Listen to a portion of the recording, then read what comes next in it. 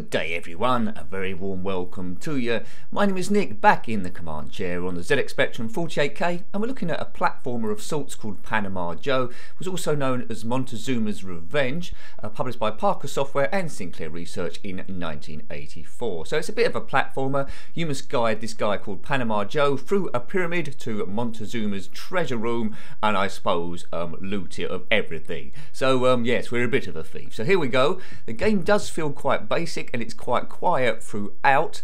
Um, yes, I don't know if it's programmed in basic, but I do like that fire down the bottom there. So hasn't got music like Manic Miner or Jet Set Willy or Turmoil or any of those ones. So um, yes, 1984. It did come out at a similar time to Manic Miner, so I think Manic Miner might have blown it away. But let's just see what it's like from a, a retrospect uh, position. Right, a bit of jump in there. So it looks like there's two colours in the main character, which is good to see, half yellow and half white. So we need to pick up these keys.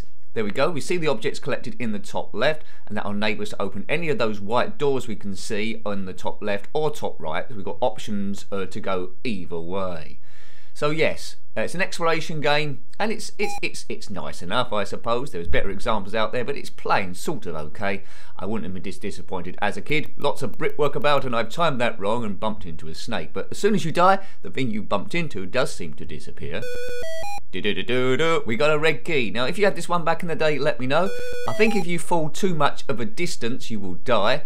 Don't think I'll need a poke on this one, so I think we'd be able to explore a percentage of the um, the, the map uh, without any due problem. So it's nice and gentle, this, nice relaxing from a retrospect point of view. But if I had it back in the day as a kid, I don't know I would have played it a great deal, but it's not to say it isn't a bad example of a bit of programming there. But yeah, not not a stellar game. So you if, you might have known it as Panama Joe or Montezuma's Revenge, but uh, this version I'm playing was bundled as Panama Joe. Good stuff, right. So I think it might have come out on the Atari 2600 as well, but as Montezuma's uh, Revenge. Right, now you do get an extra life every 10,000. I'm already on 3,400. That ledge is going to disappear, and I haven't. Oh dear, what happened there? And uh, oh, I do like that. I got turned into smoke. So you need to be a bit precise. Uh, you might have noticed before I jump on this rope and go all the way down. Whee! Boom. If you've completed this one back in the day, let me know. You might not have heard of it, but it's, it's, from, a, it's from a good Spectrum era. 1984.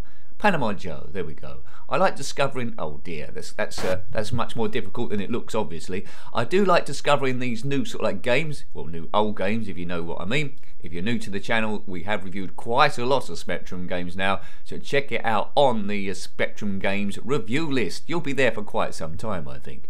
Lots and lots and lots of games, some you heard of, some you haven't heard of. Good games, bad games, and, well, absolute stinkers, really. Now this object we've got to jump over here is a rolling skull. I think if we jump perfectly and land on it, it will kill the thing and not kill us, but we won't worry about that. You see just below me at the moment there's a blue door. We haven't got a blue key at the moment, so we can't unlock that.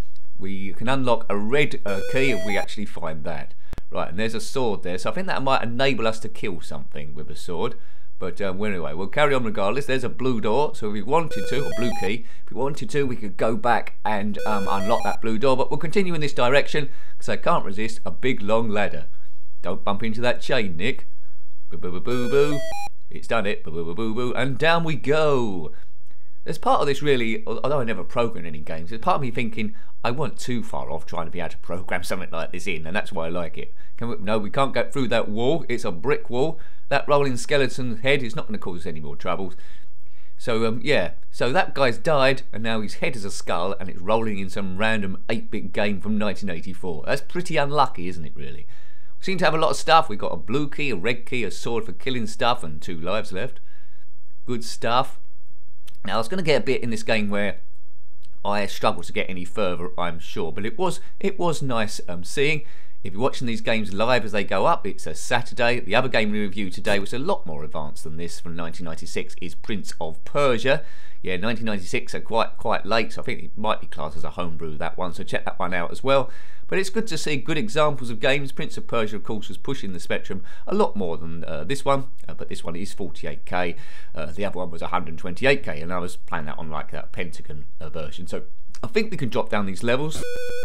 Now I don't know how you do that bit. So that's that's where I would have kept getting stuck as a kid. I think I would have got to that sort of distance and not know how far to get. So we'll, we'll have a, we'll have another go on it. Uh, we'll possibly go in another direction this time as soon as I pick up that white key. So a choice of directions, which is always good for a kid. Um, that'll keep them going.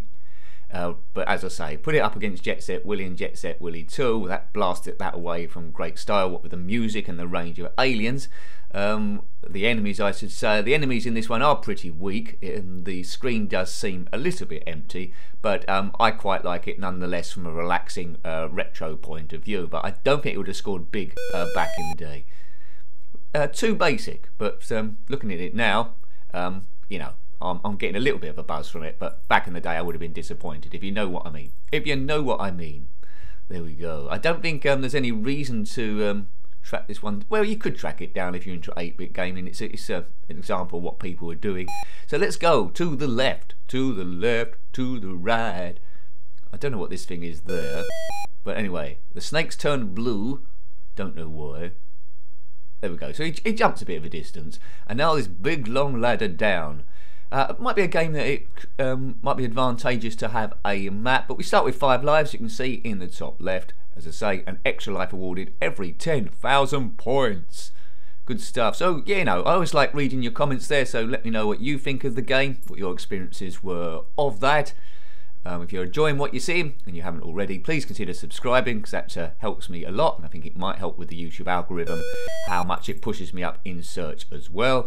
If you want to help a bit more, uh, there's memberships there where you can support the channel starting from $1.99 a month and that does help me in terms of revenue to keep the videos going and increase the uh, content. If you want to know a bit about that, um, you see next to the subscribe button it says join. If you click on that it won't commit you straight away. There will be a video letting you know what you get for that and there's like different tiers. So thank you very much and there's Ko-Fi as well. Good stuff good stuff. So this is a uh, pre-recorded of course. Well will be after I finished and edited it. Ah but uh, we do do live streams also so check those out in the week. It's a choice chance for everyone to come together and well interact live really live stream. The clue, the clue's in the name. That, that, they've been proving good fun so far. Right, so come on, Panama Joe. We've got a Luke Montezuma, which I presume. Well, Montezuma, is it supposed to be an Egyptian? But this this whole thing looks like English brickwork. So maybe it's one of those ancient English pharaohs. You know, one of those ones we all knew about. Do do do do do. Uh, oh, that's close. Right, so I think we had a we killed that skull. We even landed on it. I had a sword that I didn't know about. Good. So um, this this stage looks a little bit tricky with those conveyor belts. You can't beat a platformer with um, well, they've got to have conveyor belts, haven't they? Somewhere. It's the law. You always need conveyor belts with a platformer, especially on the Spectrum. Right. I can't get up there. Looks like there's a green ladder and then a chain there. So you learn as you go through how to do the uh, stages. It's a bit of a, a bit of a no frills game, isn't it? Really, it feels um, it's only about 80% finished. There could be a lot more aliens. Imagine um, imagine that there's a few thing, other things going up and down, going up and down with sort of like Manic Miner type music, and then the game's starting to get a bit, little bit um, stellar. But it's, it's okay, but it hasn't got like the icing on the cake. It's just the bare cake without the rest of the cake. And it's a little bit dry as well. But, um, you know, positives, two colours on the main character. It does move okay. When I first went to define the keys in my practice go earlier on, I selected P as to go um, uh, right, but unfortunately P is also pause, so I thought the thing was going terribly slow. But uh, it wasn't going terribly slow, it's just I kept pausing it all the time. There we go. You live and you learn, you die if you forget it all. So in the middle, let's just have a little bit of fun. Right, so we can't couldn't go that way. So it needs to go up, up and away. There's a blue key right at the top, which you might have already spotted. So I think um, the system, I think What's that? It's a bird coming down. What's happened there? Maybe there. Oh no, that's interesting. Is that taking me somewhere? Maybe I've run out of time. It's a strong bird. There's a colour clash. Yeah, I think there must have been a timing issue then there. So you must have some secret time, or I clicked on something I shouldn't have done, but I, I died. That's no good. So that that was quite clever. You got taken away by a bird. Not as big as that bird that steals your girlfriend in Ghosts and Goblins, but uh, it's of a, of an era well, uh, genre, I should say. Oh, I forgot about that chain. Nick, pay attention. Pay attention, you nincompoop. Right.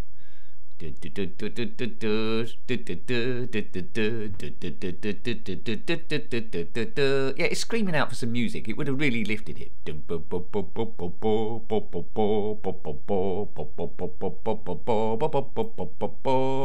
Yeah, but it's all, it's all a little, it's all a little bit quiet. This is all a little bit quiet. So do your do your favourite music if you want to. I I can't do the music all the way through. Right. But uh, I'm sure someone might do a game and put put that on a loop. What I just said. There we go. As long as I get credit, I don't mind.